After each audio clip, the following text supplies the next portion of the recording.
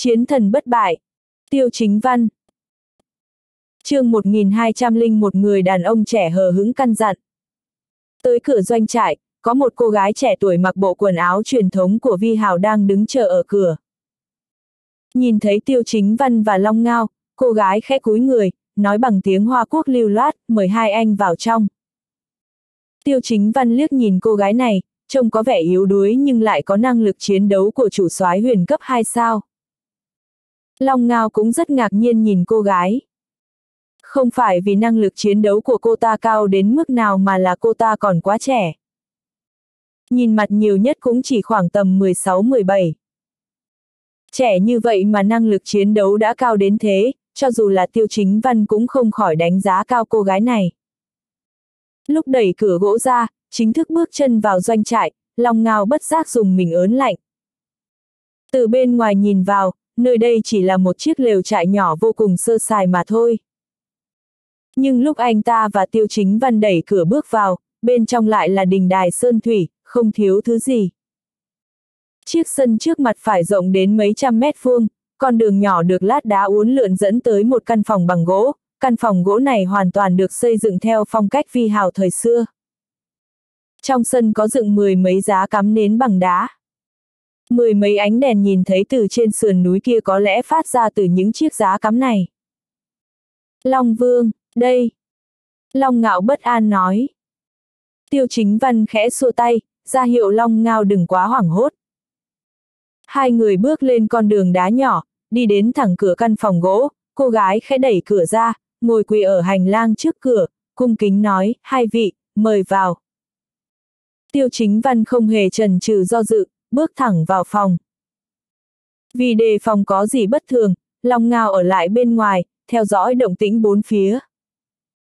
Lúc này, ngoại trừ căn phòng này ra, vẫn có hai căn phòng gỗ còn đang sáng đèn.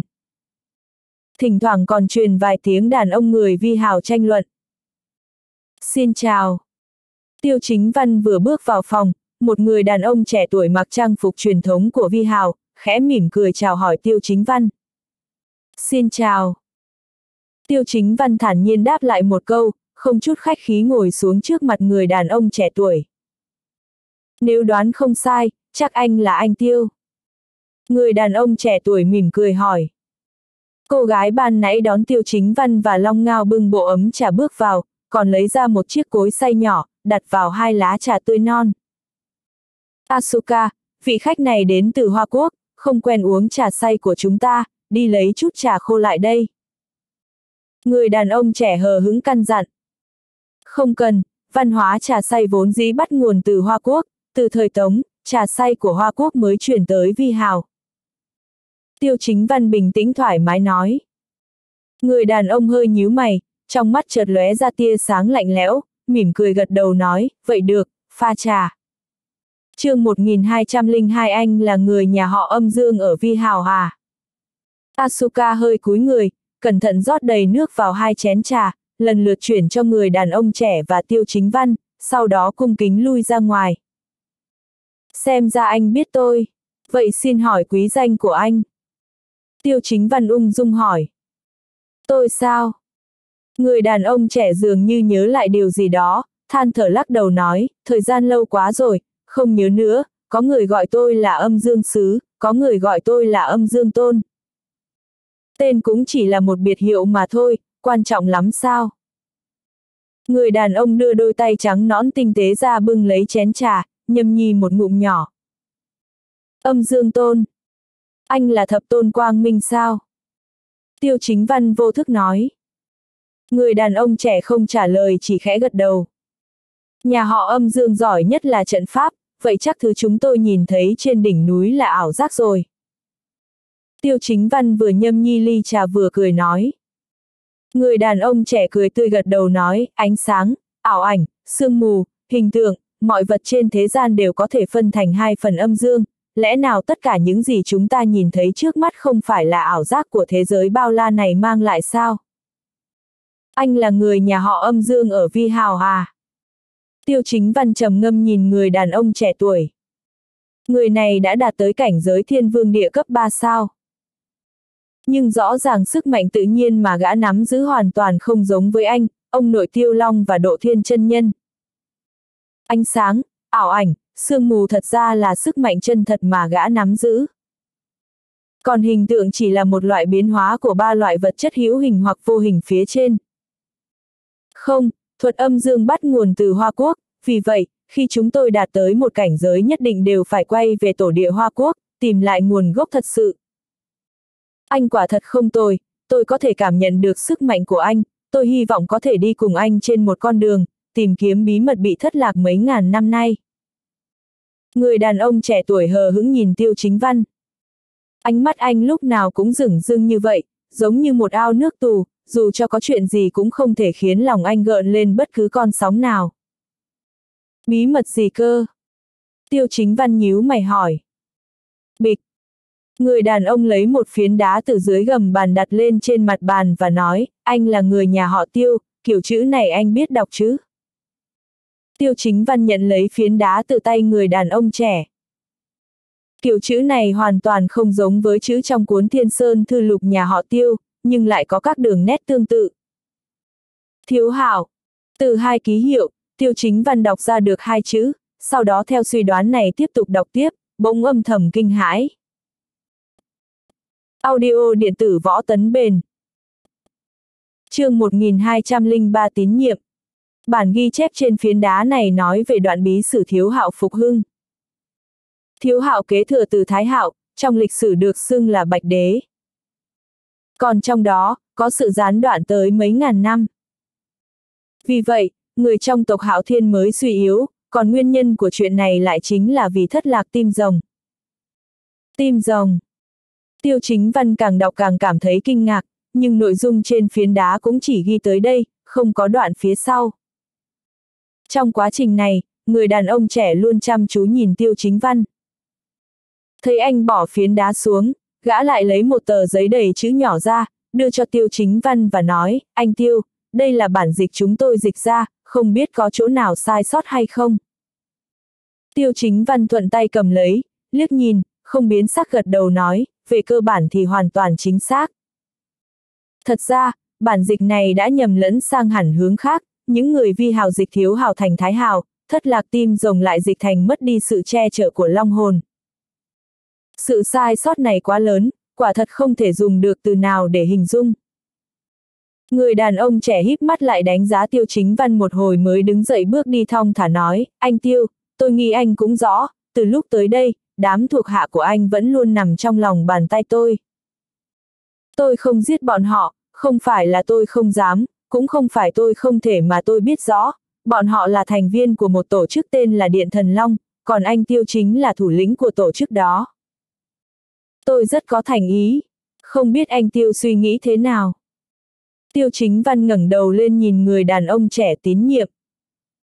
Người đàn ông trẻ quay đầy lại nhìn tiêu chính văn, nhíu mày suy nghĩ hồi lâu, rồi từ trong kẽ răng thốt lên hai chữ cộng hưởng. Cộng hưởng mà âm dương tôn nói tới đương nhiên là những nội dung trên phiến đá.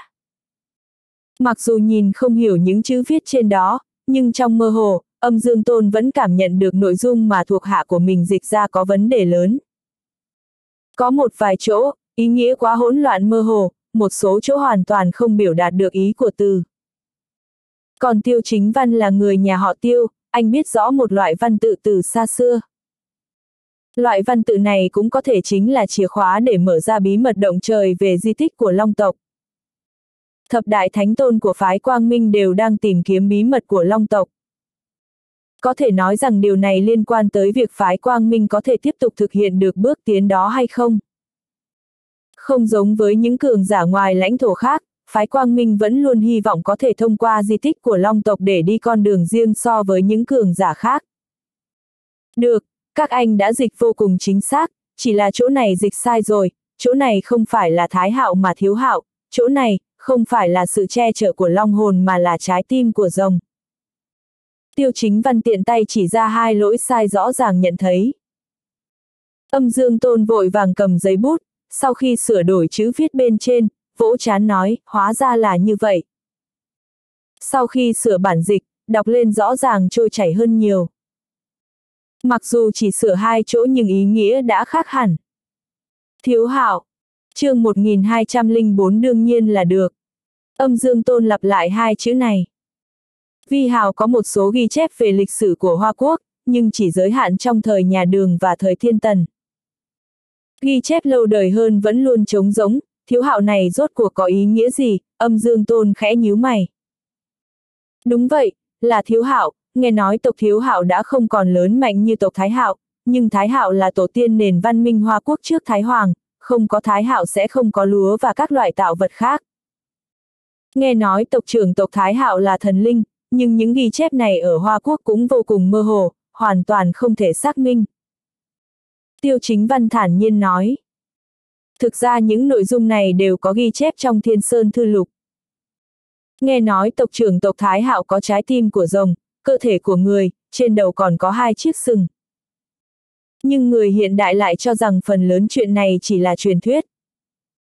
Hơn nữa, thứ như rồng vẫn luôn là sự tồn tại vô cùng thần bí. Đến thời đại này, rất nhiều người đã không còn tin rằng có loại vật như rồng. Hóa ra là vậy, Thái Hạo và Thiếu Hạo đều là tộc Hạo Thiên, nhưng niên đại đã cách nhau rất xa rồi phải không? Âm Dương Tôn nhìn Tiêu Chính Văn nói. Tiêu Chính Văn khẽ gật đầu nhưng cũng không giải thích quá nhiều. Trong những di tích có liên quan đến long tộc mà bây giờ chúng tôi đang đào còn có một cái hang, từ đầu đến cuối đều không thể mở ra, không biết liệu anh Tiêu có hứng thú đến xem thử không? Âm Dương Tôn chủ động mời. Tiêu chính văn hơi do dự, sau đó gật đầu nói, đương nhiên là được. Âm Dương Tôn bước nhanh về phía cửa nhà gỗ, nói, mời anh Tiêu theo tôi. Hai người lần lượt rời khỏi căn phòng gỗ. Long Ngao đang muốn tiến lên trước, Tiêu chính văn khẽ xua tay, ra hiệu không cần đi theo. Sau đó anh đi cùng âm dương tôn vào trong một hang động. Mặc dù hang động này rõ ràng có dấu vết của việc khai quật nhân tạo, nhưng niên đại lại vô cùng lâu đời, tuyệt đối không giống như mới khai quật. Chạm vào bức tường đá trong hang, tiêu chính văn nhíu mày nói, nơi này vốn dĩ đã bị khai quật hết rồi sao?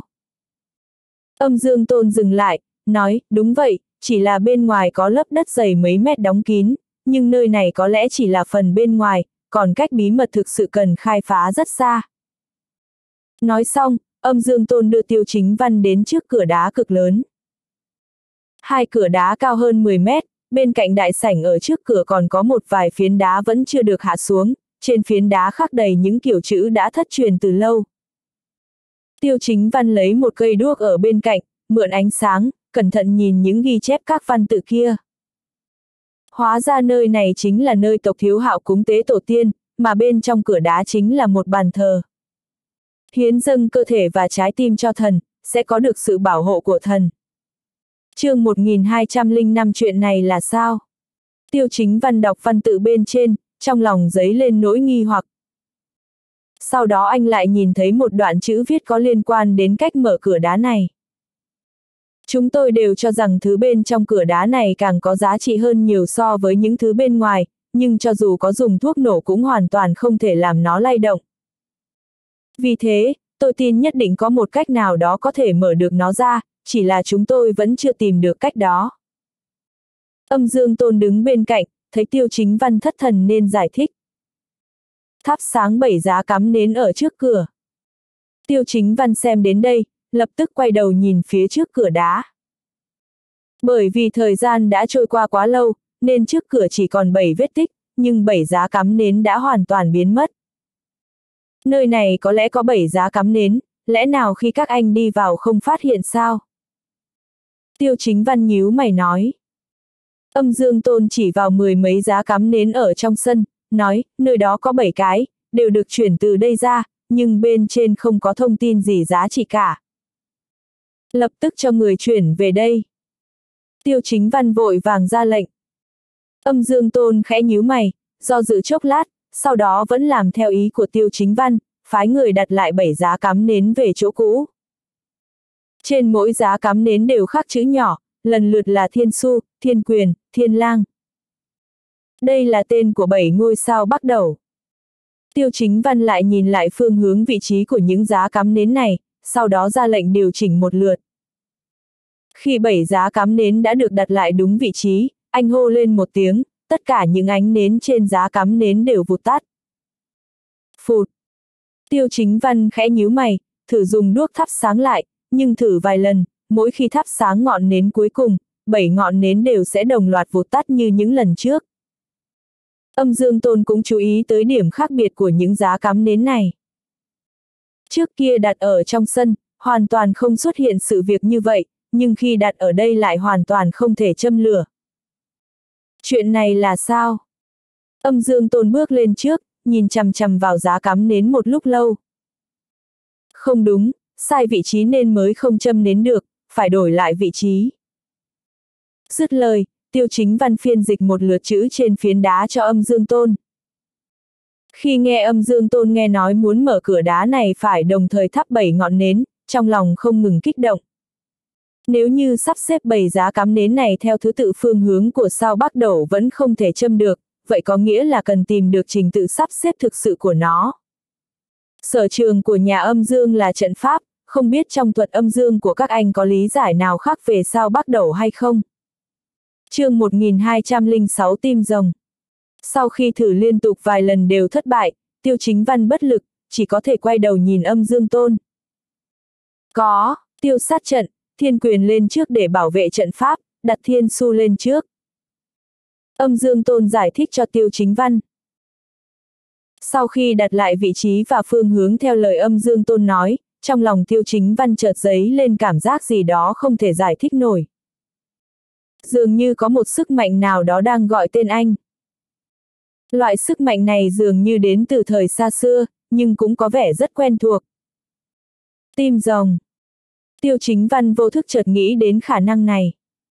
Giữa năm trái tim của rồng luôn có một mối liên hệ nhất định. Hắc Long chủ yếu thiên về chiến đấu, Bạch Long chủ yếu thiên về sinh tử, Kim Long chủ yếu thiên về trận pháp, Ngân Long chủ yếu thiên về điều khiển binh lính. Còn anh đã dung hợp tim rồng xích long, chủ yếu thiên về trị thương. Anh có thể phối hợp với bốn trái tim rồng từ xa. Khi bảy giá cắm nến được thắp sáng, cánh cổng đá nặng chục nghìn cân lập tức phát ra tiếng động lớn. Vô số khối đá, trộn lẫn bụi cát lần lượt đổ xuống. Dầm dầm dầm. Cánh cổng đá nhanh chóng nâng lên đến đỉnh, một không gian cao tầm 400 mét, mười mấy tế đàn rộng bằng sân bóng lớn nhỏ xuất hiện trước mặt mấy người tiêu chính văn. Ôi trời ơi! Một nhà âm dương nước phi hào kinh ngạc thốt lên. Trước những tế đàn này, bọn họ trông thật nhỏ bé. Không khí bên ngoài tràn vào trong tế đàn. Mười mấy chậu than khổng lồ gần như cùng một lúc sáng bừng lên. Trên cao, một chậu than khổng lồ được nối với tám sợi xích sắt cũng sáng lên, khiến cả tế đàn được chiếu sáng như ban ngày. Lúc này, tiêu chính văn mới nhận ra rằng xung quanh tế đàn còn có 8 cột đá vàng, mỗi cột đá đều điêu khắc hình rồng. Giữa tế đàn có một người đàn ông trung niên đang ngồi, mặc dù dáng vẻ của ông ta còn sống động như thật, nhưng tiêu chính văn biết ông ta đã chết. Chỉ là thi thể của ông ta không khô héo, cũng không thối giữa chương 1207 mây đen che khuất bầu trời búi tóc ngang lưng vẫn có thể đung đưa theo gió. Bên cạnh ông ta còn có một thanh kiếm cổ, chuôi và bao kiếm mang phong cách thời tiên tần. Bên cạnh ông ta còn có hai bộ xương trắng, xét theo kích thước của bộ xương thì chắc là xương của hai đứa trẻ. Trên hai bên vách tường viết đầy văn tự, tiêu chính văn vừa nhìn đã biết là đó là lời tự thuật. Ngay từ đầu người này đã biết về toàn bộ quá trình người tộc thiếu hạo tìm kiếm tim rồng, và lai lịch của hàng trăm bé trai bé gái đi theo người đó để tìm kiếm tim rồng. Những bé trai bé gái này đều có xuất thân từ gia đình quý tộc. Hơn nữa phải có tiếng hát hay, lời văn đẹp uyển chuyển, cũng như có thân hình khỏe mạnh. Mà người ngồi đó luôn có một câu hỏi trong lòng. Tại sao tộc trưởng của thiếu hạo là hạo vũ lại muốn ông ta dẫn theo nhiều đứa trẻ đến vậy? Bọn họ còn phải bôn ba ngàn dặm, đến bờ biển, chế tạo một con thuyền khổng lồ. Con thuyền dài khoảng 170 mét, rộng 60 mét, vào thời điểm đó, nó đã là một con tàu lớn khiến người ta kinh ngạc. Trên thuyền không chỉ có bé trai bé gái, mà còn có 3.000 cao thủ trong tộc thiếu hạo. Ngoài ra còn có các loại vũ khí như cung nỏ. Thấy vậy, tiêu chính văn không khỏi hít một hơi thật sâu, từ những trang bị này cho thấy, đây dường như không phải ra biển tìm tim rồng, mà giống đi săn thứ gì đó hơn. Nếu không sẽ không thể giải thích được tại sao lại mang theo nhiều vũ khí đến vậy. Lẽ nào sau khi nhìn thấy rồng thật, bọn họ sẽ bắn chết rồng sao? Anh Tiêu, những chữ này đang nói về cái gì?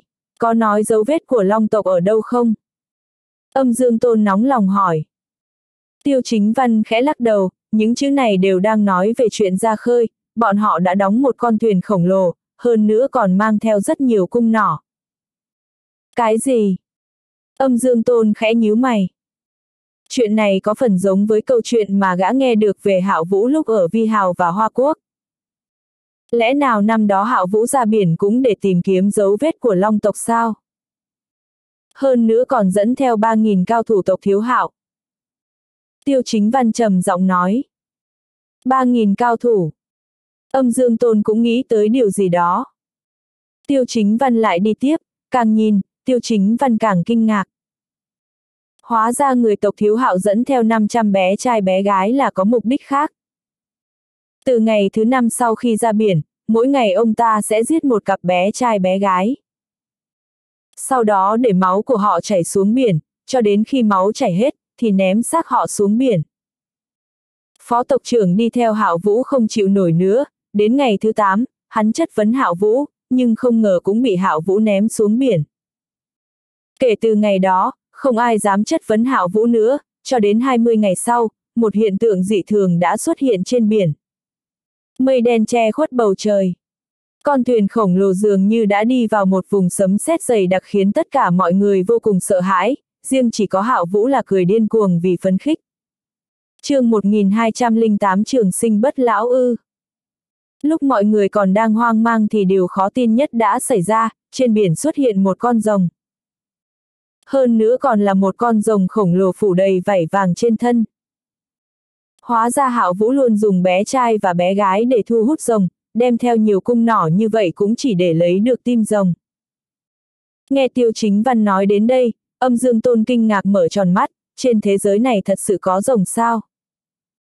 Tiêu Chính Văn nuốt nước bọt, nếu chữ viết trên tường là thật thì Hạo Vũ đúng là một tên điên, hy sinh mạng sống của nhiều người như vậy chỉ để được trường sinh bất lão. Sau đó thì sao? Âm Dương Tôn nhìn Tiêu Chính Văn, căng thẳng hỏi. Tiêu Chính Văn xem tiếp, những chuyện tiếp theo cũng khiến Tiêu Chính Văn kinh ngạc. Sau khi hy sinh gần 2.000 cao thủ tộc thiếu hạo, hạo vũ đã dùng cung nỏ bắn chúng vào thân rồng. Máu rồng từ trên không trung phun ra, có người bị máu rồng dính lên người, lập tức hóa thành một làn khói trắng, còn hạo vũ đã chuẩn bị hũ sứ tử sớm, lấy được 20 hũ máu rồng. Cuối cùng, con rồng rơi từ trên không xuống biển vì bị thương quá nhiều, sau đó bị hạo vũ giết chết. Sau khi lấy được trái tim của rồng kim long, tất cả mọi người đều hiểu ra đây chính là thứ hạo vũ muốn tìm. Có câu nói năm trái tim rồng hợp nhất thì có thể trường sinh bất lão luôn được lưu truyền trong tộc thiếu hạo từ rất lâu rồi. Đáng tiếc là năm đó hạo vũ cũng chỉ có được trái tim của kim long. Vì vậy, tộc thiếu hạo không bao giờ có thể trở lại thời kỳ huy hoàng của thái hạo nữa. Đến cuối cùng, tộc thiếu hạo cũng bị hạ vũ tiêu diệt, biến mất trong dòng chảy lịch sử. Thì ra có thuật trường sinh bất lão thật sao? Âm dương tôn lộ ra vẻ vô cùng phấn khích. Trường sinh bất lão ư. Tiêu chính văn chỉ vào thi thể của người đàn ông trung niên kia, nói, vậy sao ông ta lại chết? Âm dương tôn khẽ nhíu mày, có thể là ông ta chưa dung hợp được tim rồng. Tiêu chính văn lắc đầu, tiếp tục ngẩng đầu xem chữ trên vách tường. Vậy trái tim của rồng kim long đang ở đâu? Âm dương tôn nóng lòng hỏi. Tiêu chính văn khẽ lắc đầu. Mặc dù tiêu chính văn chưa đọc hết nội dung ghi trên tường, nhưng từ tuổi của thi thể kia, anh biết chắc chắn đây không phải là tộc trưởng. Bởi vì sau đó có nhắc đến chuyện Hạo Vũ bắt đầu cho người tiếp tục tìm kiếm bốn tim rồng còn lại, nhưng không tìm thấy gì cả. chương 1209 Hạo Vũ chết như thế sao? Đoạn chữ sau bức tường đá nhanh chóng chứng minh được suy đoán của Tiêu Chính Văn. Sau 200 năm Hạo Vũ quay lại, người đàn ông đang ngồi kia mới ra đời. Điều khiến Tiêu Chính Văn không dám tin là ông ta đã gặp Tổ Long. Cái tên Tổ Long chính là biệt danh mà Hạo Vũ dành cho thủ lĩnh Long tộc. Cũng có thể nói ông ta đã chứng kiến sự tồn tại của Long tộc, hơn nữa chuyện dung hợp tim rồng cũng được chứng thực. Hạo Vũ sống 200 tuổi sao? Con người của âm dương tôn bỗng co rút lại, đối với người bình thường mà nói, không thể nào sống được đến 200 tuổi. Trong một cuốn sách cổ mà gã từng nghiên cứu cũng chỉ nói con người có thể sống được hai giáp, cũng tức là 120 tuổi. Nhưng từ xưa tới nay, số người có thể sống được tới độ tuổi này vô cùng hiếm. Đoạn văn tự phía cuối cùng bức tường đá hoàn toàn khiến tiêu chính văn và âm dương tôn chấn động.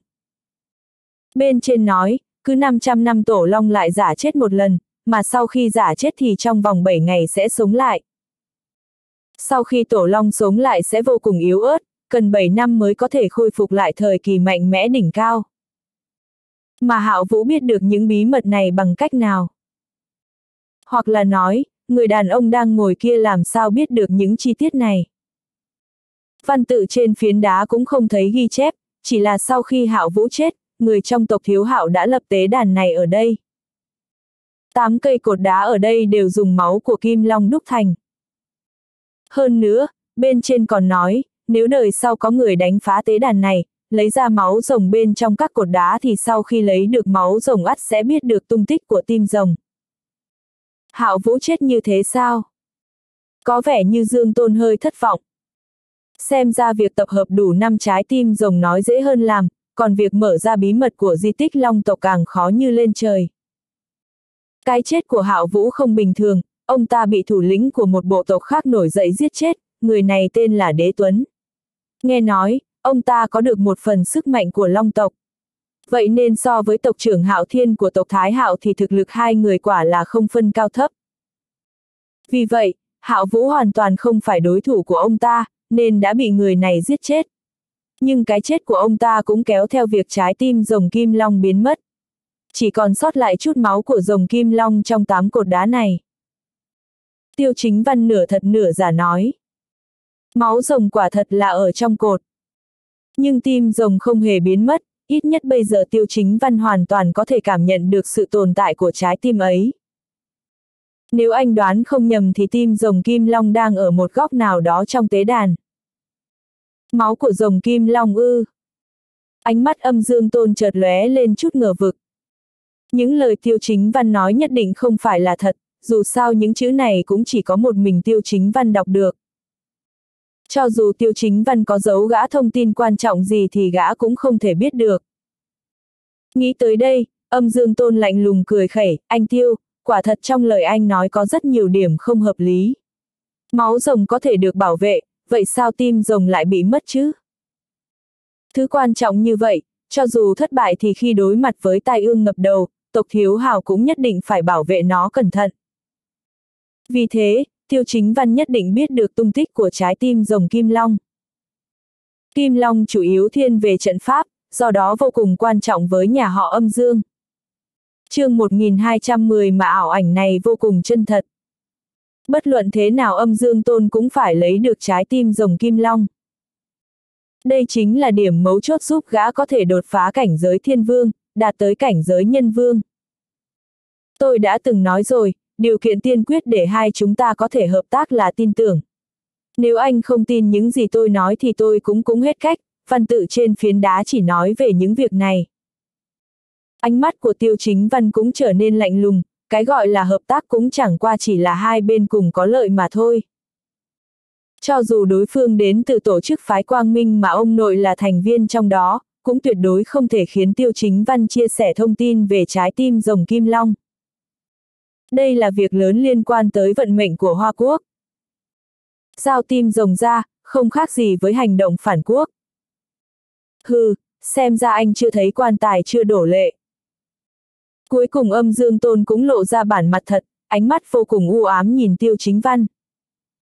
Sau đó, chỉ thấy gã đưa tay ra, một làn khói bốc lên không trung. Giây tiếp theo, tiêu chính văn gần như rơi vào hôn mê. Khi tỉnh lại, anh phát hiện mình đang trong một phòng giam, mà ngồi đối diện là một nhân viên an ninh trẻ tuổi.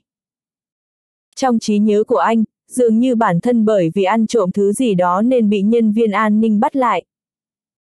Trong đầu anh đã hoàn toàn không nhớ những gì mình trải qua trước kia.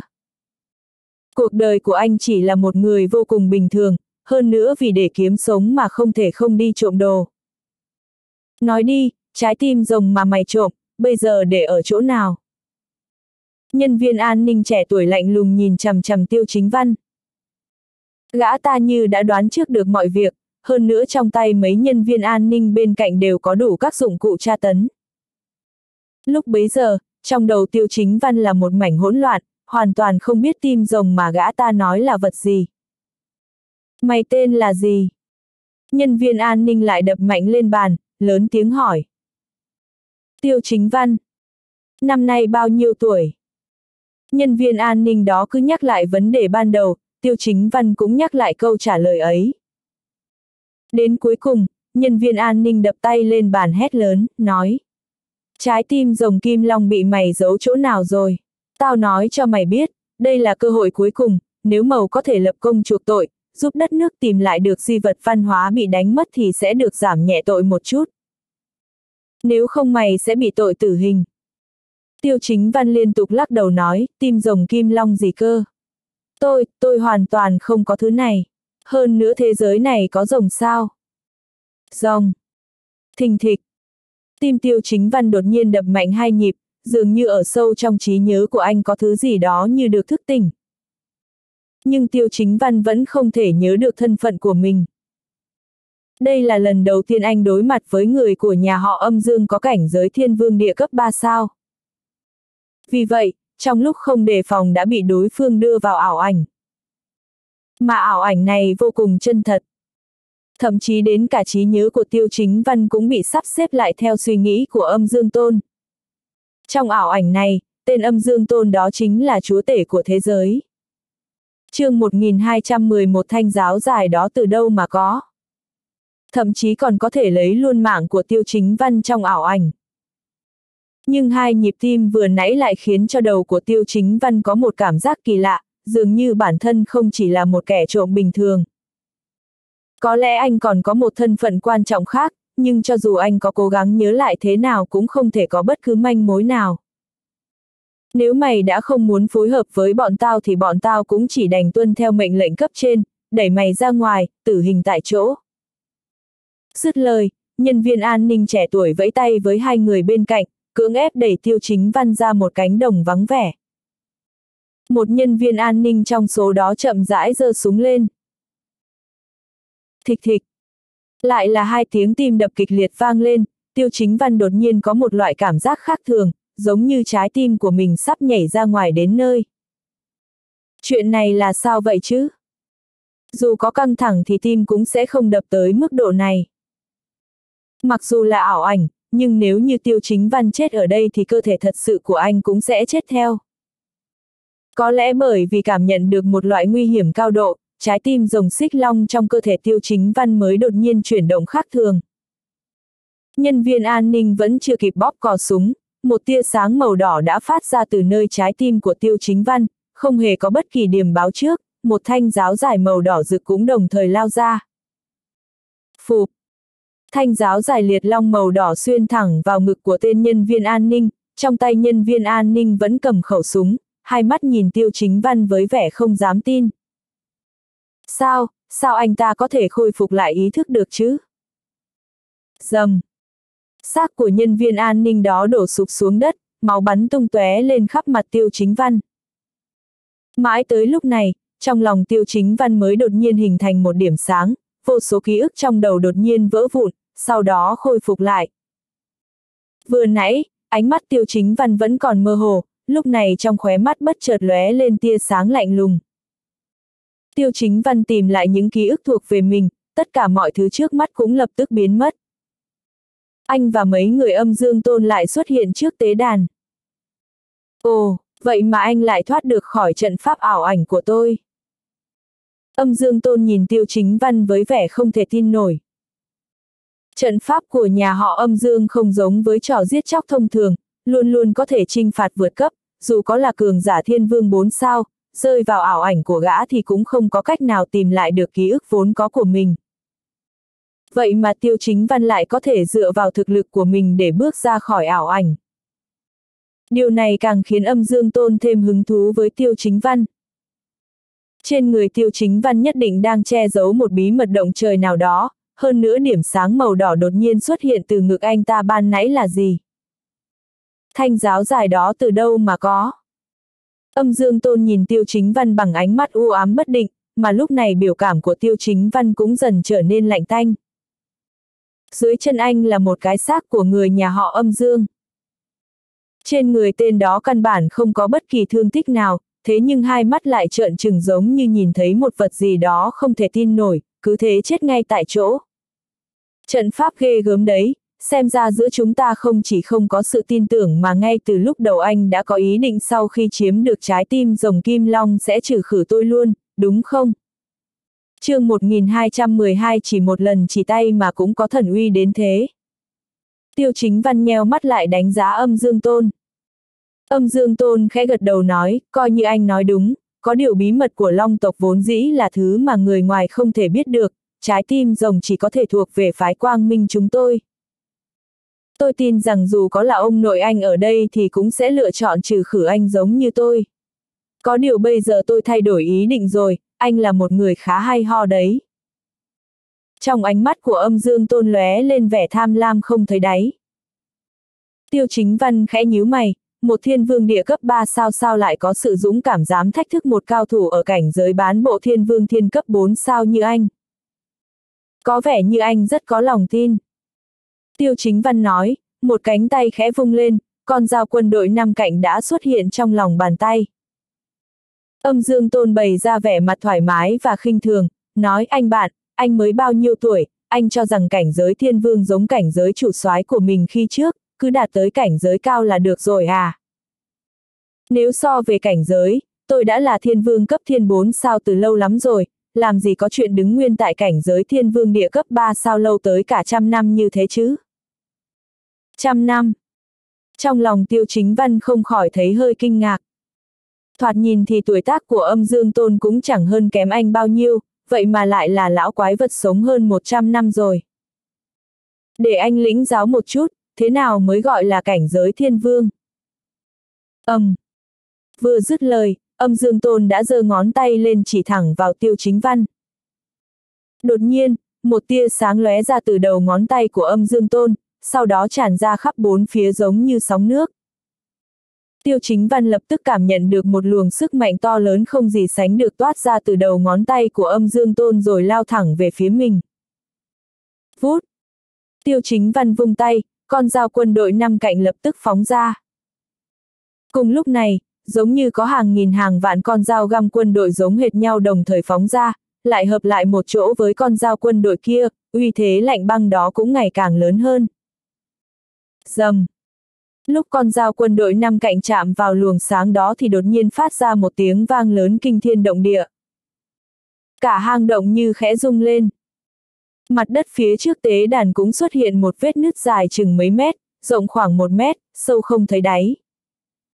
Ồ, anh đã lĩnh ngộ được đến cấp độ này rồi sao? Xem ra tôi coi nhẹ anh rồi. Âm dương tôn liếc nhìn vết nứt bên trên mặt đất, lại nhìn con dao quân đội vừa bay trở lại trong tay tiêu chính văn. Mặc dù nói âm dương tôn chỉ ở cảnh giới thiên vương địa cấp 3 sao, thế nhưng đòn đánh ban nãy cũng đã khiến cho tiêu chính văn phải bỏ ra không ít sức lực. Thực lực của gã rõ ràng còn hơn cả độ thiên chân nhân. Thậm chí nếu như ban nãy đổi lại là độ thiên chân nhân thì sớm đã bỏ mạng dưới lần chỉ tay của gã rồi. Chỉ một lần chỉ tay mà cũng có thần uy đến thế. Lẽ nào đây mới là cảnh giới thiên vương thát sự? Tiêu chính văn khẽ nghiến răng, thập tôn quang minh quả nhiên danh bất hư truyền. chương 1213 trái tim rồng kim long. Cường giả ở cảnh giới thiên vương thông thường tuyệt đối không thể so bì được. Thế nhưng chính thực lực mạnh mẽ không gì sánh bằng đó của âm dương tôn lại càng khiến khát khao chiến đấu của tiêu chính văn thêm phần dữ dội. Trong lòng tiêu chính văn như đang nhóm lên một ngọn lửa hừng hực. Âm. Um. Đúng vào lúc này, một thanh long trụ đột nhiên xuất hiện vết nứt dài, hơn nữa vết nứt còn đang tiếp tục kéo dài hơn. Kỳ lạ là từ bên trong long trụ lại chảy ra một chất lỏng màu vàng. Máu của rồng kim long. Trong đầu tiêu chính văn đột nhiên nghĩ tới năm chữ này. Thế nhưng không đợi tiêu chính văn có hành động gì, âm dương tôn đã nóng lòng nhảy bổ tới. Xèo. Ngón tay âm dương tôn vừa mới chạm vào máu của Kim Long đã toát lên một làn khói trắng. Á! Âm dương tôn kinh hoàng tột độ nhìn tay của mình, ngón tay vừa chạm vào máu của Kim Long đã tan biến mất một nửa chỉ trong nháy mắt. Sao, sao lại như vậy? Âm dương tôn không cam tâm nhìn về phía chất lỏng màu vàng kia. Tiêu chính văn cũng hơi nhíu mày, bên trong những ghi chép bằng chữ của mấy phiến đá kia không hề nói rằng máu của Kim Long còn có đặc tính giống nham thạch nóng chảy. Chất lỏng màu vàng chảy qua đâu là tất cả vật chất ở nơi đó đều sẽ hóa thành cho bụi. Ngay cả tảng đá cũng hòa tan thành thủy tinh chỉ trong nháy mắt. Đây, đây là thứ gì? Âm dương tôn kinh ngạc nhìn chất lỏng màu vàng, không dám tin đây chính là máu của Kim Long. Tiêu chính văn chậm rãi bước tới trước long trụ, đứng vững rồi quan sát chất lỏng màu vàng đó. Đúng vào lúc này, những cây long trụ khác cũng lần lượt nứt ra, bên trong tất cả long trụ đều chảy ra chất lỏng giống nhau.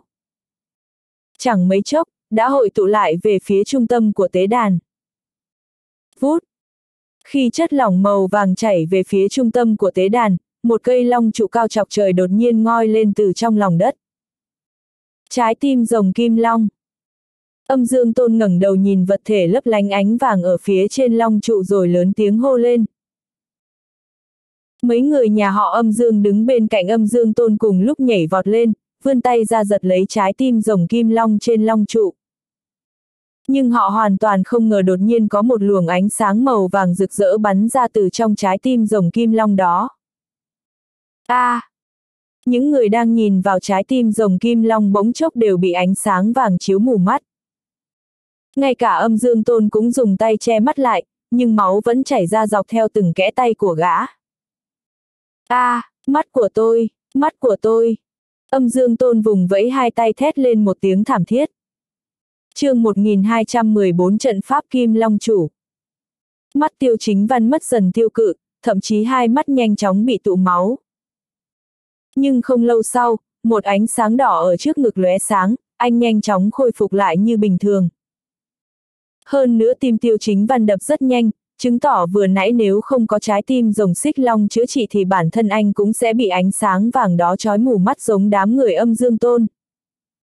Như vậy cũng có nghĩa lúc đó khi người của tộc thiếu hạo phát hiện ra trái tim rồng kim long này thì họ cũng bị ánh sáng vàng này trói mù mắt. Hạo vũ bị mù rồi. Tiêu chính văn khẽ nhíu mày, nếu đúng là vậy thì có hơn nửa phần chữ được khắc trên tảng đá đó là không đáng tin. Quan sát kỹ trái tim rồng kim long, tiêu chính văn cân nhắc hồi lâu nhưng vẫn từ bỏ ý định mau chóng dung hợp nó. Không nói đến trái tim rồng kim long, chỉ riêng uy lực của máu kim long cũng đủ thấy được sức mạnh của trái tim rồng kim long không bình thường. Có thế nào âm dương tôn đáng thương kia cũng không ngờ trái tim rồng kim long lại đáng sợ hơn cả máu rồng kim long. Không chỉ mất đi một ngón tay mà giờ còn bị mù cả hai mắt. Đến khi ánh sáng của tim rồng kim long tỏa ra đến mức cực đại, giữa không trung bỗng xuất hiện bóng ảo của rồng. Trận pháp kim long chủ. Trên bầu trời xuất hiện vô số trận pháp và bản đồ sao, lúc này ánh sáng vàng không còn chói mắt nữa, ngược lại rất nhiều quầng sáng màu vàng dọi xuống khiến người khác có cảm giác thoải mái. Tiêu chính văn, anh ở đâu? Anh lên tiếng đi chứ? Âm dương tôn vùng vẫy hai cánh tay cố gắng lắng nghe tiếng động. Nhưng xung quanh không có bất kỳ tiếng động nào, gã không thể đoán được tiêu chính văn đang đứng ở đâu. Lúc này tiêu chính văn dường như không để ý đến gã mà chỉ chăm chú nhìn ánh sáng màu vàng trên đỉnh đầu. Không lâu sau, ánh sáng đó dần biến mất, sau đó năm con rồng lần lượt xuất hiện. Xích long, kim long, bạch long, ngân long, hắc long. Tiếp theo trái tim rồng kim long như nổ tung trong tức khắc rồi dung hòa vào chấm đỏ trước ngực tiêu chính văn. Ngay sau đó tất cả quầng sáng màu vàng đều biến mất, cả tế đàn lại trở nên lặng im như tờ. Hóa ra mọi chuyện đều là một cái bẫy, đời sau chỉ cần có người muốn lấy trái tim rồng kim long thì chắc chắn người đó sẽ bị thương. Hơn nữa từ thứ tự thay đổi của mấy con rồng đó, Tiêu Chính Văn mới nhận ra anh mình đánh bậy đánh bạ dung hợp tim xích long trước nên mới thuận lợi lấy được trái tim rồng kim long. Nói cách khác phải dung hợp theo thứ tự, xích kim bạch ngân hắc mới có thể thành công dung hợp năm trái tim này. Cho dù sai thứ tự thì có được tim rồng cũng vô dụng. Ngay lúc tim rồng kim long dung nhập vào người tiêu chính văn, trước mặt tiêu chính văn xuất hiện vô số bản đồ trận pháp, tiêu chính văn cứ như đã tập luyện rất nhiều lần, chỉ lướt qua trước mặt một lần là đã vô cùng quen thuộc với mọi thứ. Lúc này nhìn lại mấy trận pháp mà âm dương tôn dùng trước đó chẳng qua chỉ là trò ảo thuật cấp thấp nhất mà thôi, kém xa trận pháp này cả ngàn cây số. Đồng thời đầu thanh giáo giải liệt long màu đỏ đã biến thành màu vàng, hơn nữa tiêu chính văn có thể cảm nhận rõ sự hiểu biết của mình về sức mạnh thiên nhiên của lửa, ánh sáng, ảo ảnh cũng đã được nâng lên một tầm cao mới. Thảo nào mọi người trên khắp thế giới đều đang tìm kiếm tim rồng hòng chiếm lấy nó làm của riêng. Chỉ có tiêu chính văn mới có thể cảm nhận được hết những lợi ích trong đó. chương 1215 anh ta sẽ không bao giờ ra ngoài được nữa. Âm dương tôn, như anh đã nói tim rồng chính là bí mật lớn nhất, vì thế anh cũng không thể sống sót mà rời khỏi đây được. Tiêu chính văn lạnh lùng nói. Nghe thấy giọng của tiêu chính văn, âm dương tôn vội xoay người lại đối mặt với tiêu chính văn, lạnh lùng nói anh muốn giết tôi sao? Ừ. Tiêu chính văn dừng dưng đáp. Anh nên biết nếu anh giết tôi thì anh và phái quang minh sẽ có mối thù một mất một còn, một ngày nào đó phái quang minh sẽ tìm đến anh. Âm dương tôn sợ hãi đe dọa. Không có bất kỳ một tổ chức nào trên thế giới có thể so bì được với sức mạnh của phái quang minh. Hơn nữa phái quang minh còn có người là cường giả vương cảnh. Dù tiêu chính văn có mạnh đến mấy cũng không thể thoát chết.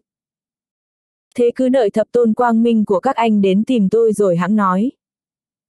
Tiêu chính văn cười nhạt. Tiêu chính văn, anh dám.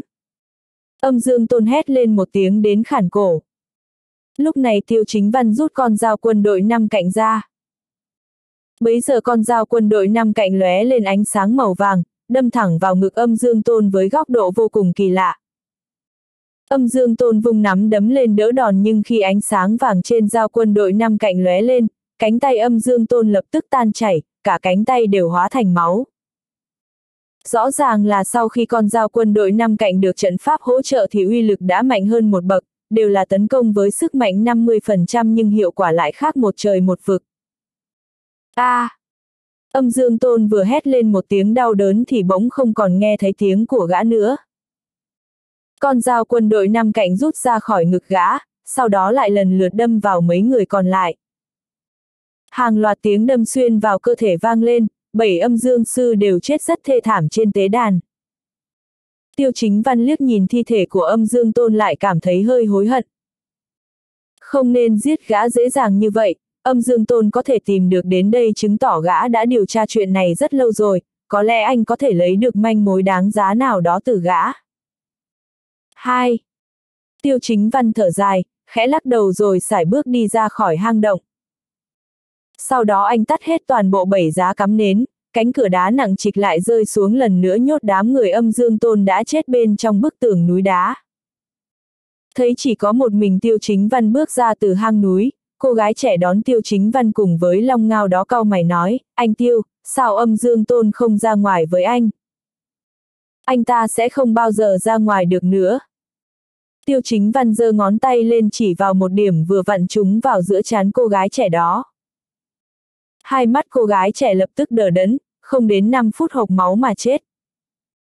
Vừa nãy tiêu chính văn tùy ý vung tay, dùng một loại trận pháp ngay trước mặt cô ta khiến cô ta nhìn thấy cảnh tượng mình chết thảm, mà cô gái trẻ lại tưởng mình đã chết thật. Long Vương, tình hình thế nào rồi ạ? À? Long Ngao bước đến hỏi. chương 1216 đi đến Côn Luân. Tiêu chính văn thản nhiên nói, lấy được tim rồng kim long rồi, nhưng còn phải đi xem thử rốt cuộc mấy người vi hào này còn phát hiện ra điều gì nữa hay không. Lần này tiêu chính văn có thể thuận lợi lấy được tim rồng kim long cũng không phải do tim rồng kim long dễ lấy. Mà đều nhờ âm dương tôn nên tiêu chính văn mới có thể tìm ra nơi cất giấu tim rồng kim long khi không cần tốn chút sức lực nào. Nếu không có sự chỉ dẫn của âm dương tôn và đám cấp dưới của gã thì bản thân anh cũng khó mà tìm được chỗ cất tim rồng kim long. Hai người bước vào một trong những căn phòng gỗ bên cạnh, trong đó còn chất hàng đống tài liệu nghiên cứu. Lục lọi gần cả buổi tối, Tiêu Chính Văn mới tìm ra một tấm bản đồ Hoa Quốc trong mớ tài liệu được chất thành đống. Tổng cộng trên bản đồ đánh dấu ba chỗ, một chỗ ở Đại Tây Nam, chính là ngọn núi dã nhân khét tiếng, chỗ được đánh dấu khác là gò Côn Luân. Chỗ thứ ba chính là Thương Lĩnh. Nhìn phương hướng được đánh dấu trên bản đồ, Tiêu Chính Văn không khỏi cau mày, gò Côn Luân ư. Tại Hoa Quốc chỉ có núi Côn Luân chứ chưa từng nghe nhắc tới gò Côn Luân. Lẽ nào? Long Vương, hình như không hề có chỗ này. Long Ngao cũng để ý tới chỗ được đánh dấu trên đó, hơi nghi ngờ hỏi. Tiêu chính văn khẽ lắc đầu, nhất định trong này có ẩn ý khác. Đi đến Côn Luân. Tiêu chính văn nói một cách dứt khoát. Sau đó, anh lại bỏ tất cả tài liệu liên quan tới gò Côn Luân mà mấy người vi hào nắm giữ vào trong túi. Bước tới cổng doanh trại tiêu chính văn lấy ra một cây đuốc trên hàng rào cổng, thắp sáng nó rồi ném vào một căn phòng gỗ trong đó. Lửa lớn cháy hừng hực đã biến doanh trại này thành cho bụi một cách nhanh chóng. Hai người tiêu chính văn và Long Ngao ngồi máy bay tới Côn Luân rồi vào thẳng thị trấn Côn Sơn dưới chân núi Côn Luân.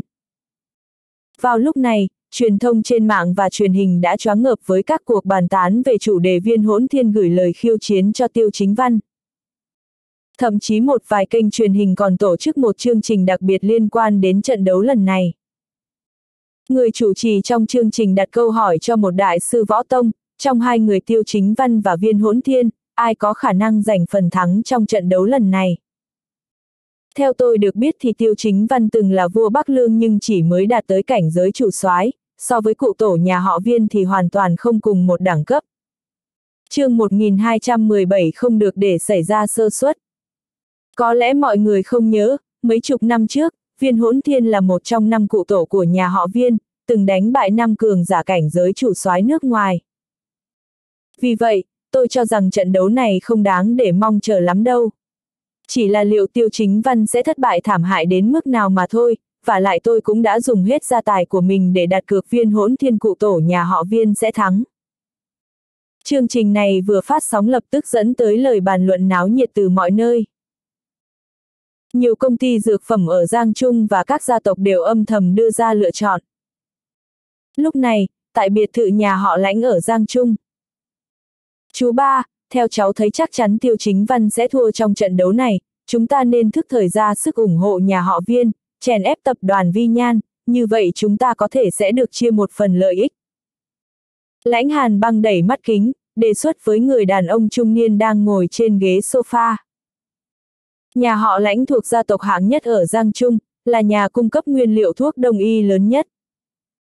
Nếu nhà họ lãnh đột nhiên cắt đứt tất cả việc kinh doanh buôn bán với tập đoàn Vi Nhan thì có thể dẫn tới sự đã kích không nhỏ cho tập đoàn Vi Nhan về mặt nguồn nguyên liệu. Chuyện này không được nóng vội, tiêu chính văn vẫn mãi chưa chịu lên tiếng, theo chú thấy chưa hẳn tiêu chính văn không đấu lại được, cũng chưa chắc là nhát gan sợ sệt. Chuyện này liên quan tới tương lai sau này của nhà họ lãnh chúng ta tuyệt đối không được để xảy ra sơ suất. Người đàn ông trung niên tên là Lãnh Kế Hồng, một trong những người quản lý nhà họ lãnh hiện giờ, cũng được xem là một nhân vật cực kỳ có tài, trăm năm khó gặp của nhà họ lãnh. Trước đó lúc tập đoàn Vi Nhan gặp phải sự chèn ép của Dược Vương Cốc, lãnh kế hồng cũng một mực kiên chỉ hợp tác tiếp với tập đoàn Vi Nhan. Vì vậy, nhà họ lãnh là một trong ít công ty dược phẩm ở Giang Trung giữ được lợi ích cho mình. Lần này lãnh kế hồng vẫn cực kỳ tin tưởng tiêu chính văn, chủ yếu là do phản ứng của tiêu chính văn quá bất thường. Rõ ràng trận đấu lớn sắp diễn ra nhưng lại đột nhiên chơi trò mất tích, việc này nói rõ trong đó còn có ẩn ý. Chú ba, tới lúc này rồi, chúng ta không thể đợi thêm nữa, có rất nhiều công ty dược phẩm đã dừng hợp tác với tập đoàn Vi Nhan. Ngoài ra, lần này cũng rất khác lần trước, lần trước là người của Dược Vương Cốc muốn cắt đứt con đường tiêu thụ của tập đoàn Vi Nhan. Còn lần này là đối mặt với cụ tổ nhà họ viên đấy, người này rất mạnh, không phải là người mà tiêu chính văn người chơi trò mất tích mấy ngày, có thể xử lý được. Lãnh hàn băng sốt sáng nói. chương 1219 không biết điểm giới hạn. Vừa bước tới cửa, ông ấy đã nghe thấy nỗi lo âu của Giang Vạn Long. Hừ, không sợ gặp chuyện xấu, chỉ sợ không gặp người tốt. Giờ mấy nhà truyền thông này cũng không biết điểm giới hạn. Giang Vạn Long vừa nói vừa thở hổn hển, đập mạnh vào bàn. Truyền thông ư, bọn họ cũng không thao túng được gì, ngược lại tôi còn lo là nhà họ viên sẽ chủ động đánh tới Giang Trung. Tần Hán Quốc nheo mắt, không khỏi lo lắng nói. Lúc này, bên trong biệt thự nhà họ viên, viên Sùng Long và đám quản lý nhà họ viên đều đồng loạt nhìn về phía viên hỗn thiên. Đã là ngày thứ ba rồi, tiêu chính văn giống như bốc hơi khỏi thế gian, căn bản không có bất cứ phản ứng gì. Cụ tổ, theo tôi thấy có lẽ tiêu chính văn sợ rồi, nếu không thì dư luận lúc này đã ẩm ý hết cả lên, sao tiêu chính văn lại không dám ứng chiến cơ chứ? Viên Sùng Long khẳng định chắc nịch. Viên hỗn thiên chỉ là một trong năm cụ tổ của nhà họ viên, sau khi bế quan đã đạt tới thực lực đỉnh cao của cảnh giới thiên vương. Thậm chí nếu như người ở cảnh giới thiên thần không ra mặt thì viên hỗn thiên chính là vô địch thiên hạ.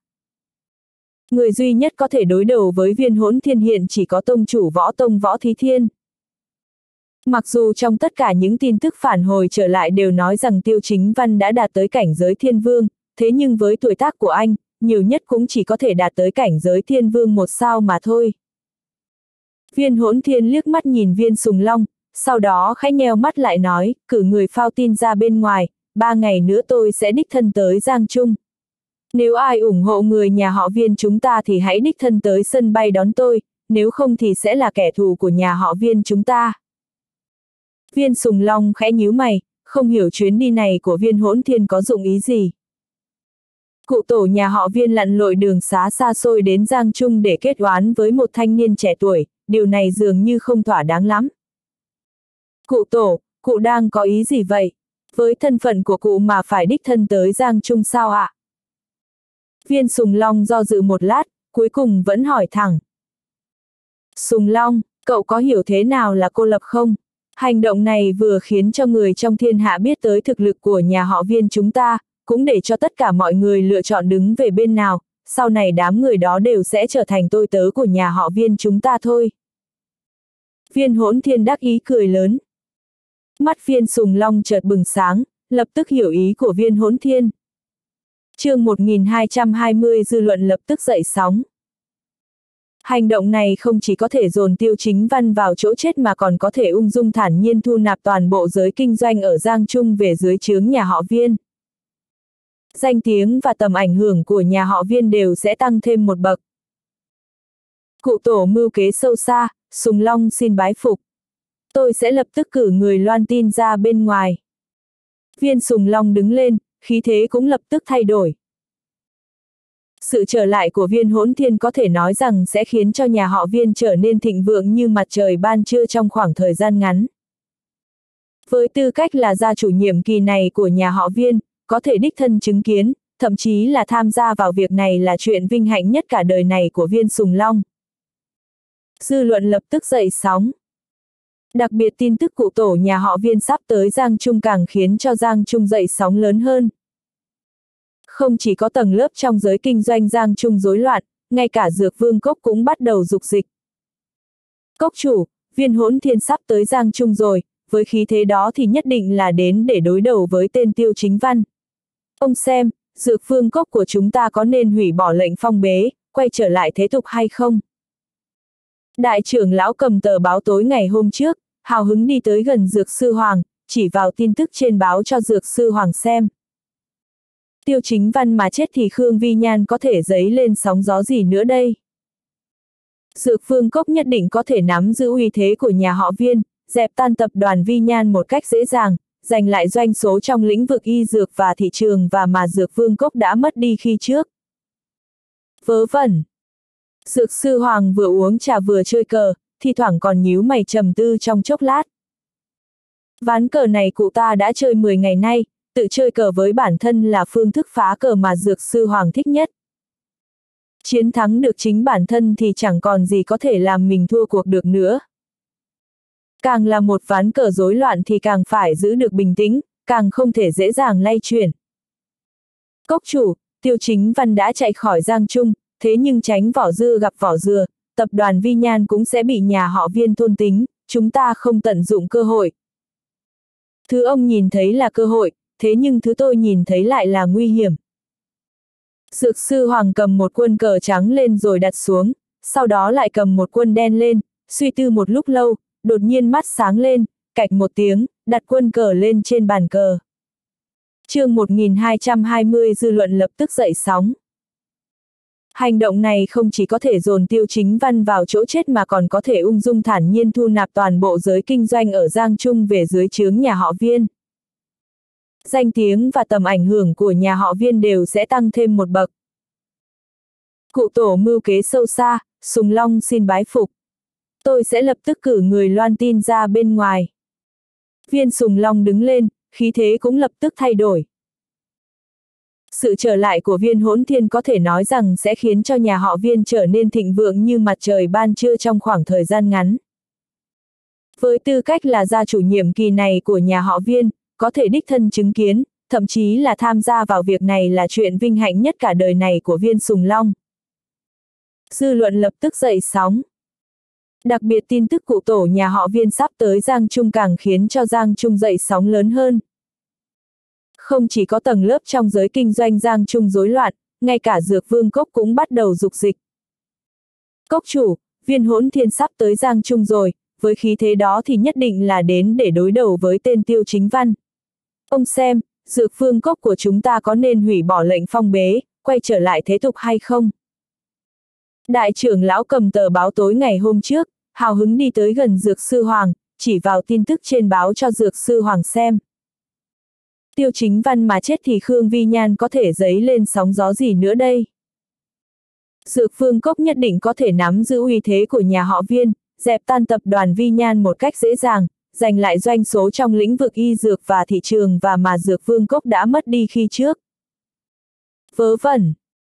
Dược sư Hoàng vừa uống trà vừa chơi cờ, thi thoảng còn nhíu mày trầm tư trong chốc lát.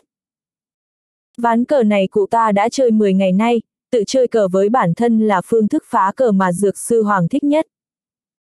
Chiến thắng được chính bản thân thì chẳng còn gì có thể làm mình thua cuộc được nữa. Càng là một ván cờ rối loạn thì càng phải giữ được bình tĩnh, càng không thể dễ dàng lay chuyển. Cốc chủ, tiêu chính văn đã chạy khỏi Giang Trung, thế nhưng tránh vỏ dưa gặp vỏ dừa, tập đoàn Vi Nhan cũng sẽ bị nhà họ viên thôn tính, chúng ta không tận dụng cơ hội. Thứ ông nhìn thấy là cơ hội, thế nhưng thứ tôi nhìn thấy lại là nguy hiểm. Dược sư Hoàng cầm một quân cờ trắng lên rồi đặt xuống, sau đó lại cầm một quân đen lên, suy tư một lúc lâu, đột nhiên mắt sáng lên, cạch một tiếng, đặt quân cờ lên trên bàn cờ. chương 1221 tiêu long chết thật rồi sao? Nơi này có một huyệt trống, kết quả thế nào? Dược sư Hoàng dùng tay chỉ vào bàn cờ. Ồ! Đại trưởng lão do dự hồi lâu, nuốt nước bọt rồi lên tiếng, đi nước này thì chỉ có cái chết. Dược sư Hoàng nhặt bốn quân quân cờ từ trên bàn cờ lên, nói, viên hỗn thiên quả thực không tầm thường, nhưng ông đừng quên, vẫn còn người đó nữa, Tiêu Long. Cả Hoa Quốc đều đã biết tới chuyện này, mà Tiêu Long lại bạt vô âm tín, điều đó có nghĩa là gì? Tiêu Long, vẫn còn sống sao? Đại trưởng lão nhìn Dược Sư Hoàng với vẻ khó hiểu. Ai dám nói chắc chắn là Tiêu Long đã chết, Tiêu Chính Văn mà chết thì nhà họ Tiêu thật sự không còn đời sau nữa rồi.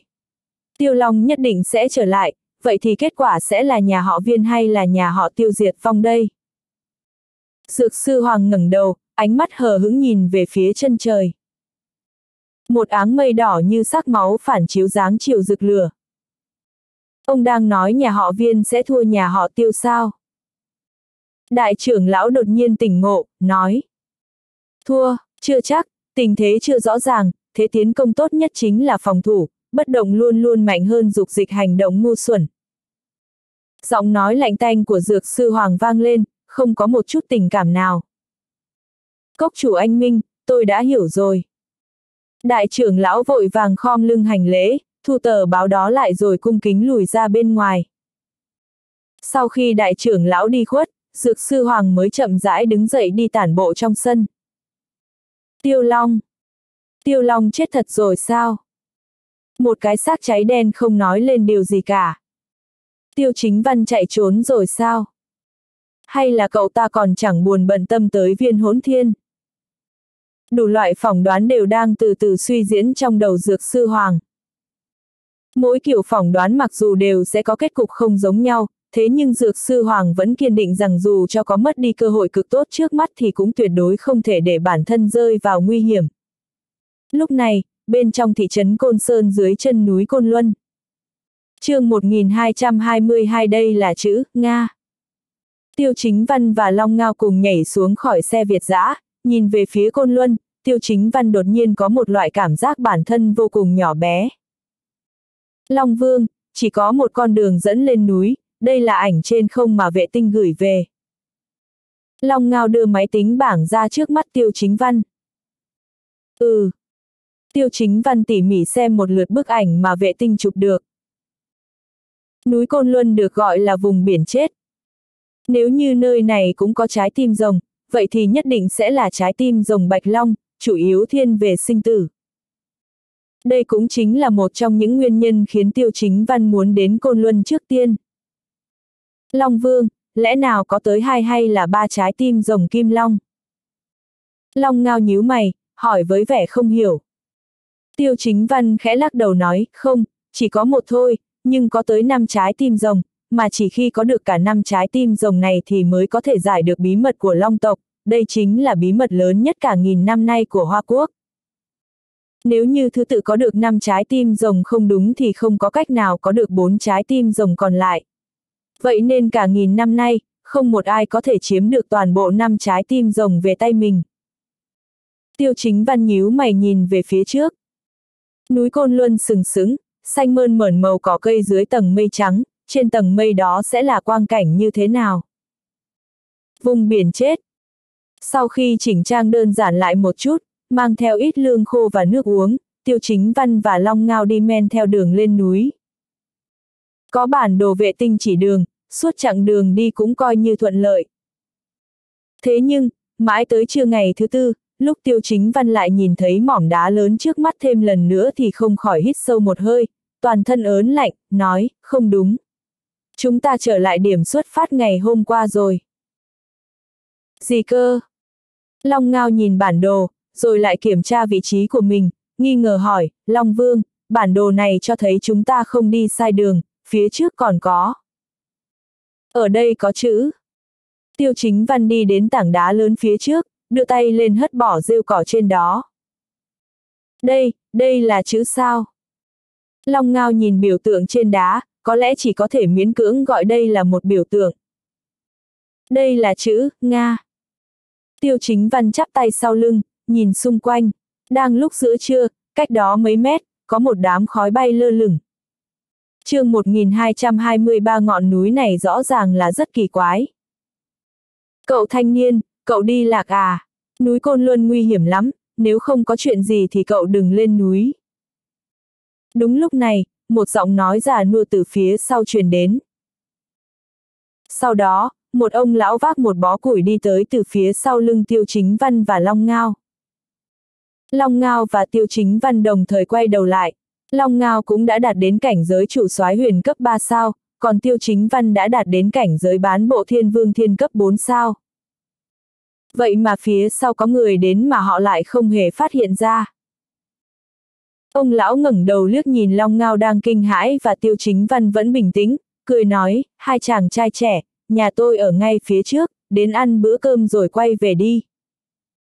Trong núi này, mỗi năm có hàng chục hàng trăm người chết, chưa kể người, ngay cả sư tử và hổ lên núi cũng chết. Ông lão vác bó củi, vừa đi vừa nói. Long Vương. Long Ngao quay đầu nhìn Tiêu Chính Văn, căng thẳng nuốt nước bọt. Đi. Tiêu Chính Văn không căng thẳng như Long Ngao. Ông lão nhìn có vẻ như một người bình thường, nhưng Tiêu Chính Văn đã nhìn ra sự khác biệt. Nếu người này có ý đồ gì thì lúc nãy đã ra tay rồi, theo tình hình bây giờ xem ra ông lão này chỉ muốn thuyết phục bọn họ rời khỏi nơi này mà thôi. Này ông lão, mỗi năm có rất nhiều người đến núi Côn Luân thám hiểm sao? Tiêu chính văn vừa đi vừa đỡ bó củi từ tay ông lão, giúp ông vác nó, cười nói. Ông lão rất hài lòng với hành động này của tiêu chính văn, mỉm cười rồi nói, không chỉ là người Hoa Quốc mà người ở đâu cũng có, còn có cả người mắt xanh tóc đỏ. Sau khi bọn họ đi lên núi thì không thấy xuống nữa. 80% là giống những con thú kia, chết ở trên đỉnh núi rồi. Tiêu chính văn khẽ nhíu mày, đừng nói tới việc chết trên đỉnh núi, mà cho tới bây giờ, anh còn chưa tìm được đường lên núi. Ngọn núi này rõ ràng là rất kỳ quái. Ông lão, tôi muốn hỏi ông một chỗ tên là Gò Côn Luân, không biết ông đã nghe nói đến cái tên này hay chưa? Tiêu chính văn liếc nhìn ông lão. Ông lão nghe thấy ba chữ này liền sững sờ, nhưng trong chốc lát lại khôi phục vẻ mặt tự nhiên. Nơi đó không ai có thể tới được. Chàng trai à, tôi thấy cậu là người hiền lành tốt bụng, cho nên tôi mới nhắc nhở cậu vài câu. Gò Côn Luân thực sự tồn tại, cậu nghĩ với thực lực hiện giờ của cậu, vào rồi còn có thể ra được sao? Ai cũng muốn có được tim rồng, nhưng từ thời xa xưa đến nay, có biết bao nhiêu người đã chết ở trong gò Côn Luân rồi. Dầm. chương 1224 gò là cái gì? Tiêu Chính Văn và Long Ngao nghe vậy vô cùng kinh ngạc. Ngay từ đầu, ông lão này đã biết mục đích đến đây của bọn họ. Ông lão. Không đợi Tiêu Chính Văn nói xong, ông lão đã chỉ tay vào đám mây trên đầu, bên trên không chỉ có vùng biển chết mà còn có biển xét. Chưa đạt được chân lý của Kim Long, sao dám rình mò Bạch Long chứ? Lời nói của ông lão lại khiến Tiêu Chính Văn kinh ngạc. Xem ra người này không hề đơn giản, anh căn bản là không thể nhìn ra được thực lực của người này, lẽ nào ông ấy là cường giả thiên thần. Suy nghĩ này vừa nảy ra, ánh mắt tiêu chính văn nhìn ông lão càng thêm sâu sắc. Ông hiểu biết nhiều quá. Tiêu chính văn cười nói. Trong lúc nói chuyện, ba người đã đến một trang trại đơn sơ không thể đơn sơ thêm được nữa. Trong sân, một bà lão tóc bạc trắng đang quạt lửa bên bếp lò. Trong cái nồi to bên trên, khói bốc lên nghi ngút, không biết là đang nấu gì, nhưng mùi hương tỏa ra rất thơm. Bà nó ơi, có khách đến nhà. Ông lão hét to vào sân. Bà lão chống gậy đầu rồng, chậm rãi quay người lại, liếc nhìn tiêu chính văn và long ngao. Rồi như không có chuyện gì, bà ấy tiếp tục quạt lửa và nấu ăn.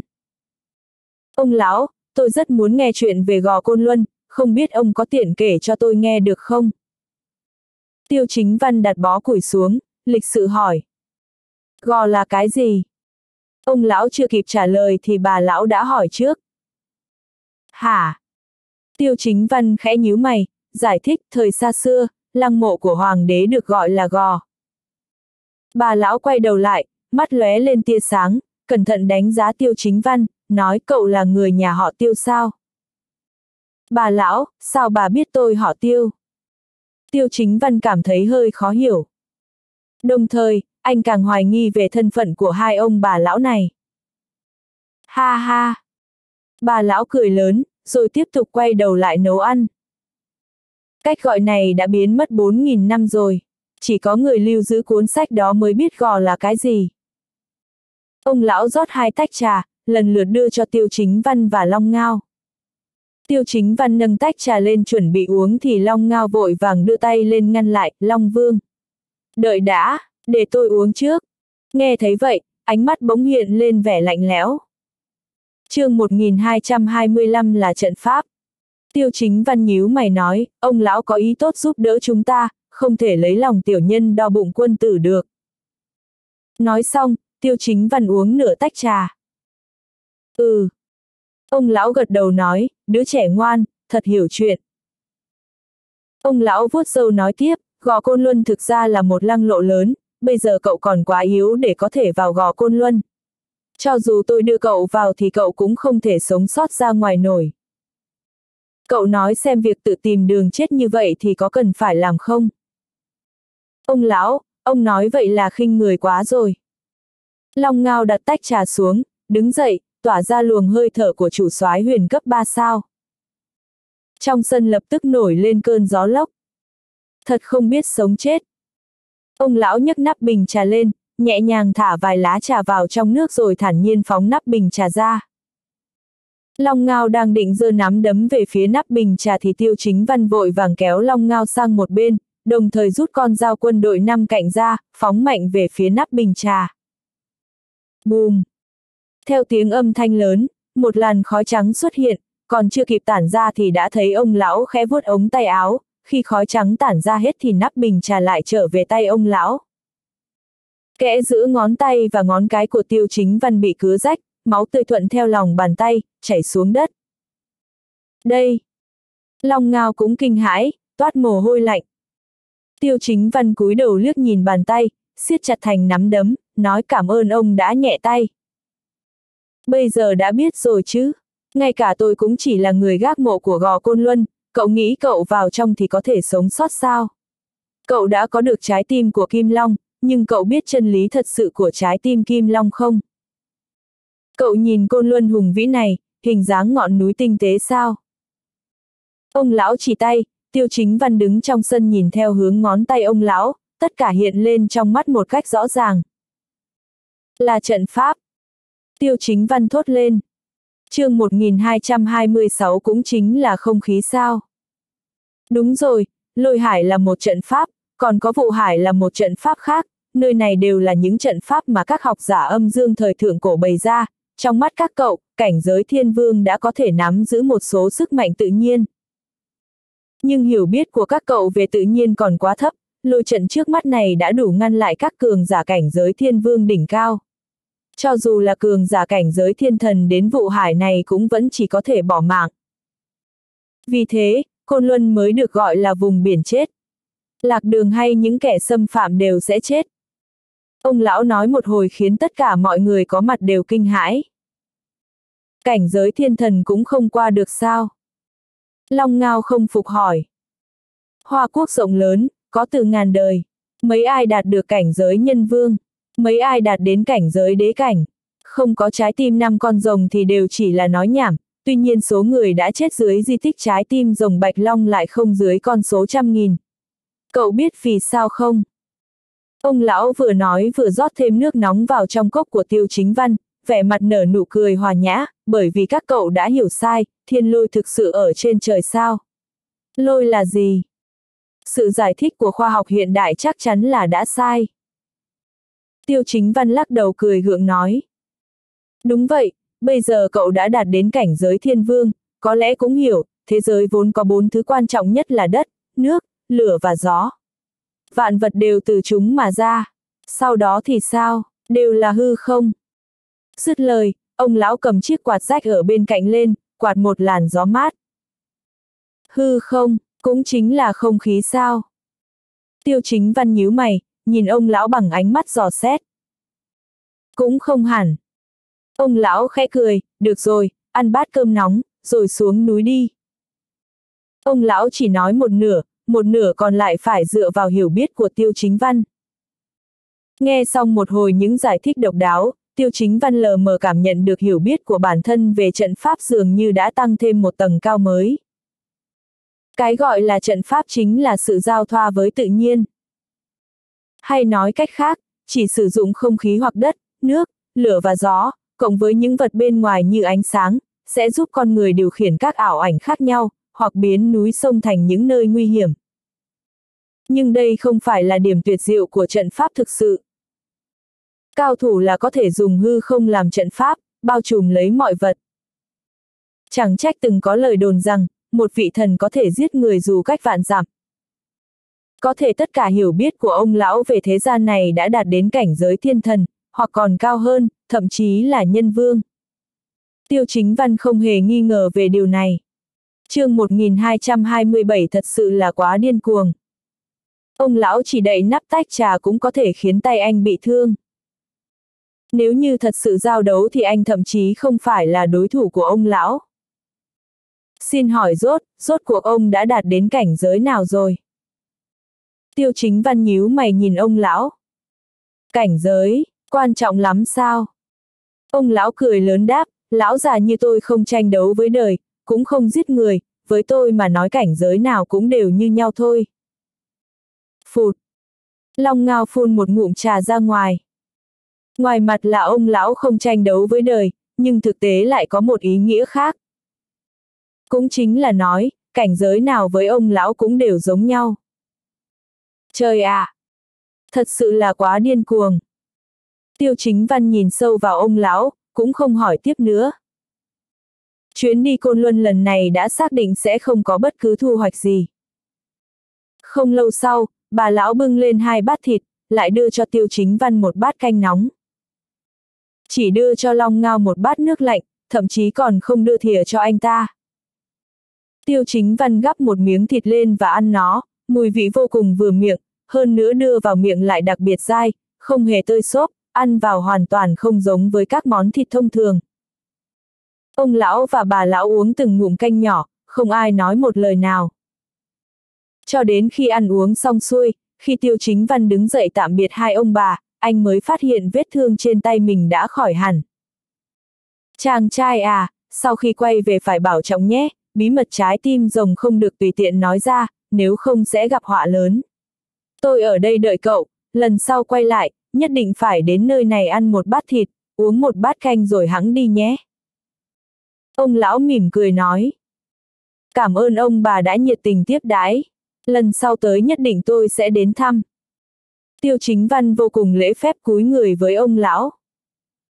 Đi đi. Ông lão xua tay, khom lưng đi về phía căn nhà gỗ. Tiêu chính văn cảm ơn bà lão xong mới đưa Long Ngao rời đi. Long Vương. Long Ngao vẫn không cam tâm, ai biết hai ông bà này có lừa bọn họ hay không chứ? Quay về thôi, Gò Côn Luân không phải nơi mà bây giờ chúng ta có thể vào được. chương 1228 chỉ chờ một người là Tiêu Chính Văn. Tiêu Chính Văn quay đầu lại nhìn Côn Luân sừng sững, nhất là nơi trên tầng mây kia, khẽ nghiến răng ken két. Vừa nãy đỡ một đòn của ông lão đã suýt chút nữa rút cạn sức lực của Tiêu Chính Văn, sức mạnh kinh người này, nếu ở bên ngoài thì đúng là cường giả không có đối thủ. Ngay cả ông nội cũng chưa từng khiến Tiêu Chính Văn cảm thấy quá mức chấn động như thế.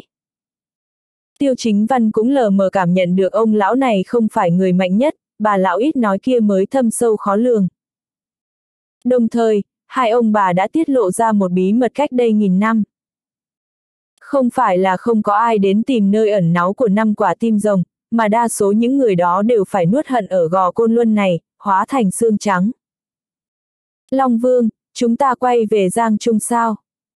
Ngồi trong xe, Long Ngao quay đầu lại hỏi. Ừ, quay về Giang Trung. Tiêu chính văn ngồi trên xe, khẽ nhắm mắt. Lúc này, sân bay Giang Trung đã chật kín người, ai nấy đều là người trong giới kinh doanh ở Giang Trung, đặc biệt là người của tập đoàn y dược là nhiều hơn cả. Đây là lần đầu tiên ở Giang Trung xuất hiện cảnh tượng nhiều người không quản ngại mưa gió, đứng trong sân bay đón tiếp một người. Cả một đội xe dài rằng giặc khiến giao thông của Giang Trung trở nên tắc nghẽn. Lãnh Hàn băng ở trong phòng làm việc lo lắng bồn chồn, gần như tất cả các công ty dược đều đến đón viên hỗn thiên. Chỉ có nhà họ lãnh không cử một ai tới đón, thậm chí cũng không buồn chào hỏi. Ngộ Nhữ tiêu chính văn không địch lại viên hỗn thiên, hay nói cách khác tập đoàn vi nhan bị nhà họ viên thôn tính thì ngày tháng sau này của nhà họ lãnh sẽ vô cùng khốn đốn. Chú ba, hay là, chúng ta cử người. Cử cái gì, ngoan ngoãn ngồi trong phòng làm việc cho chú. Dược phương cốc không có động tính, chúng ta cũng phải như vậy. Dám làm chuyện ngu xuẩn, chú sẽ cưỡng chế cách chức phó tổng giám đốc của cháu. Lãnh kế hồng dứt khoát nói xong, liền cúp điện thoại luôn.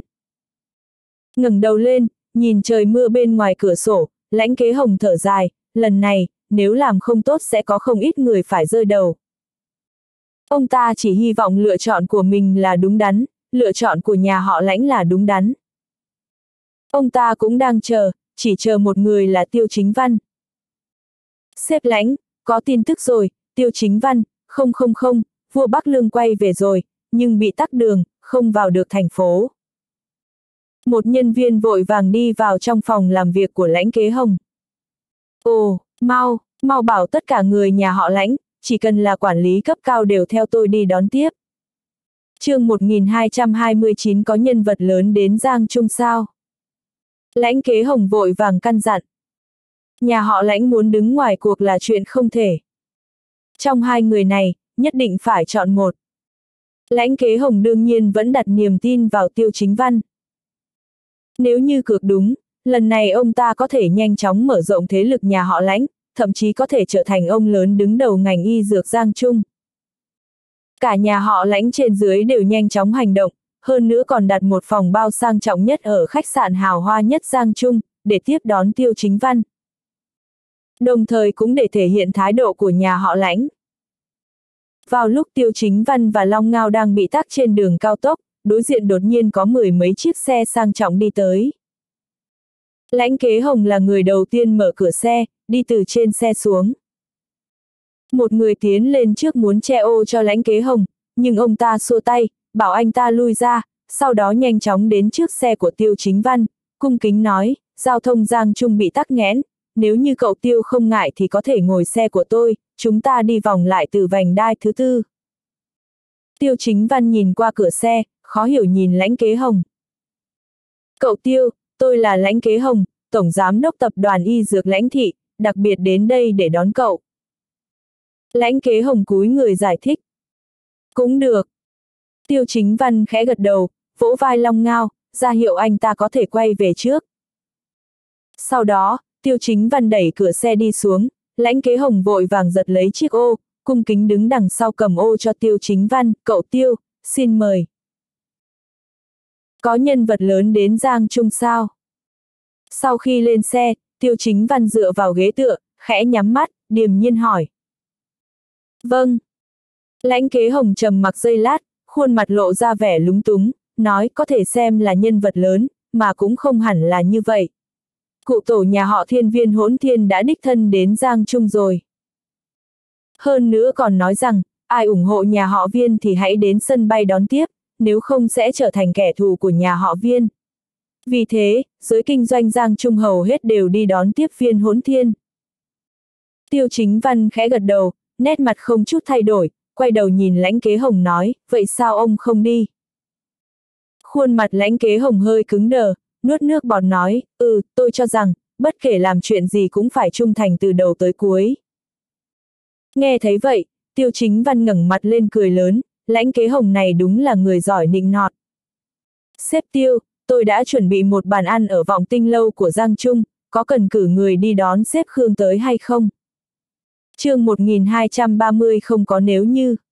Lãnh kế hồng dò hỏi. Không cần đâu, quay về công ty trước đã. Tiêu chính văn xua tay nói.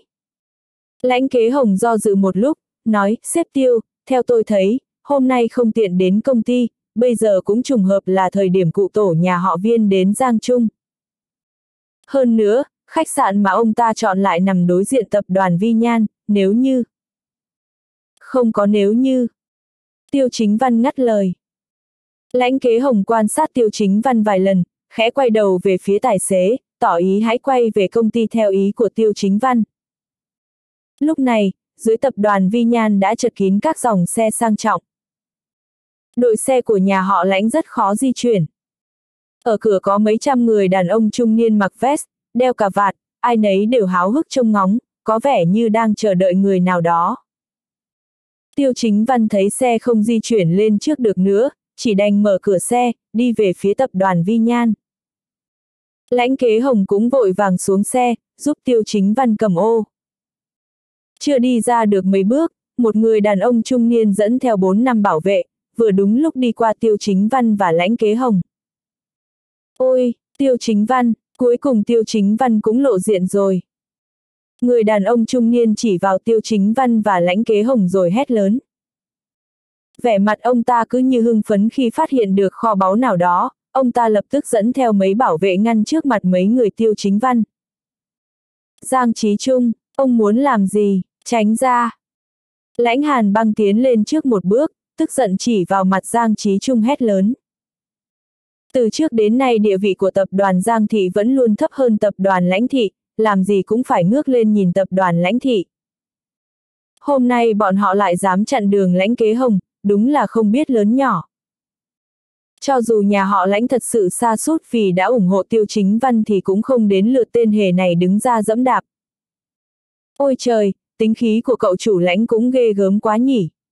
Hừ, nhà họ lãnh các cậu không những cả gan không cử người đến đón ông cụ viên, lại còn dám công khai đi cùng tiêu chính văn gần như vậy, có phải muốn chết không hả? Giang Trí Trung nở nụ cười xấu xa của một kẻ hèn hạ giảo hoạt. Ông ta vừa dứt lời, mấy ông lớn trong giới kinh doanh đang đứng đối diện lần lượt nhìn sang bên đường. Trong đó có một người đàn ông trung niên hơn 40 tuổi, dẫn theo một người đàn ông trung niên mặc bộ đồ đại cán băng qua đường. Giang Trí Trung, ông là cái thá gì? Chuyện nhà họ lãnh chúng tôi không đến lượt ông lắm lời. Lập tức cút ngay cho tôi, nếu không ông đây sẽ không khách sáo đâu. Audio điện tử võ tấn bền. Hết tập 60